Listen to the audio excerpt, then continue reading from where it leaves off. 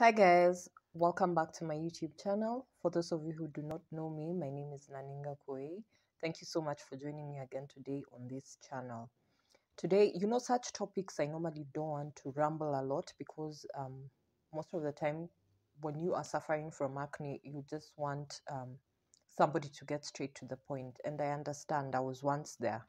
So I have been an acne sufferer for a long time, but luckily enough, I just beat acne and I only nowadays just get a few pimples due to various reasons here and there, but I used to have like full fledged acne.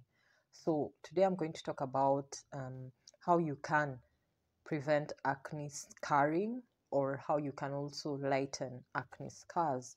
So if you already have acne scars, I'm going to talk about that. But if you haven't developed acne scars and you just have acne, I'm also going to talk about that. And let's just get into the point. If you're not yet subscribed,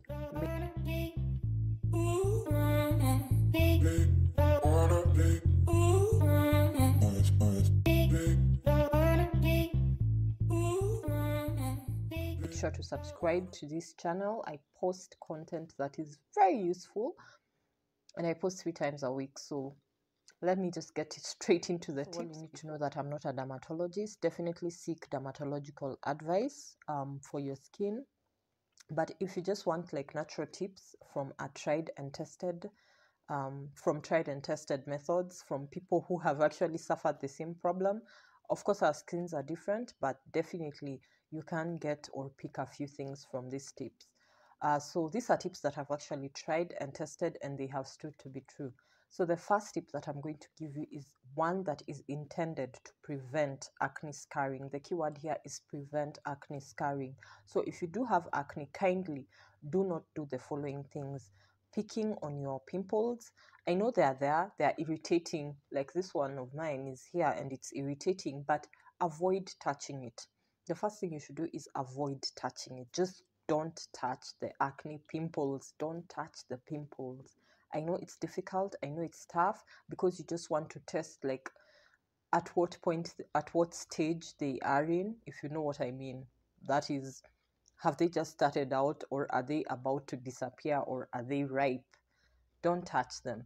Don't test. Don't touch them. So that's the first thing that's going to prevent your acne from forming scars. Don't touch your pimples. Secondly, and not only will that, um, if you keep on touching them, you're going to transfer the bacteria that is in those pimples to other parts of your face that do not have the pimples, and then you're going to get pimples there. You get the point. Don't touch the pimples. Secondly, don't pick them.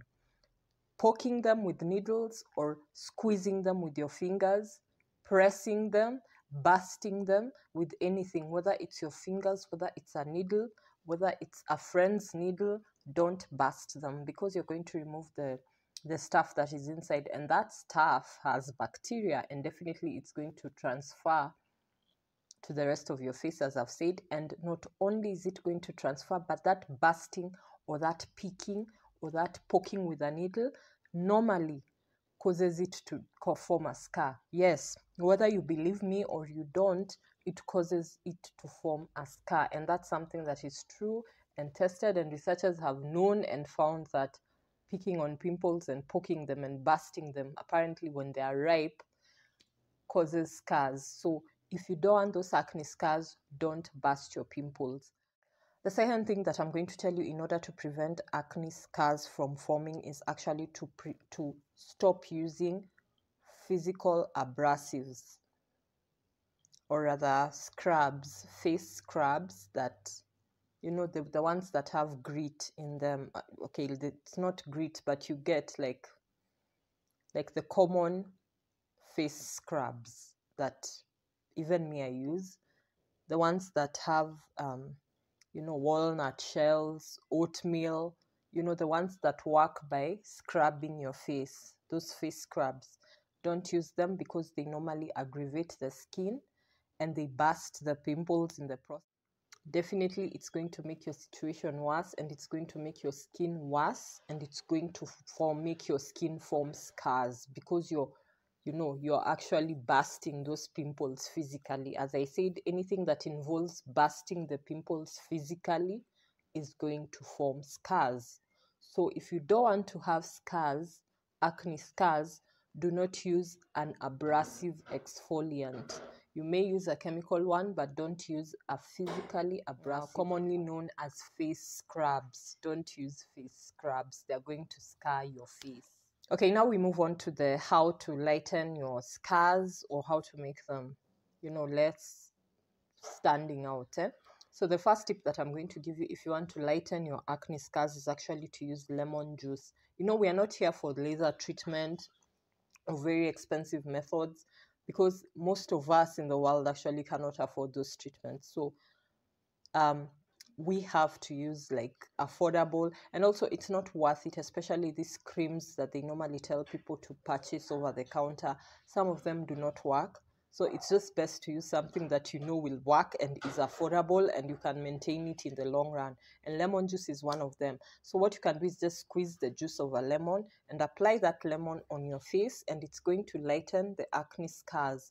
Actually apply it on the area that you want lightened because lemon juice has been known to lighten even scars.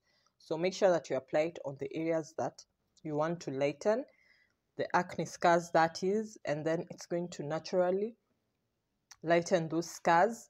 And make sure that you rinse off the lemon juice after use because you cannot use lemon juice and leave it on your skin. It's going to burn your skin and it's going to you know it has like a bleaching effect on the skin. So it's going to really affect your skin. Don't leave lemon juice and it has a high ph so don't leave it has like it's acidic. Lemon juice yeah it's not a high ph it's actually a low ph it's acidic so do not leave it on the skin for long. It will affect the ph of your skin.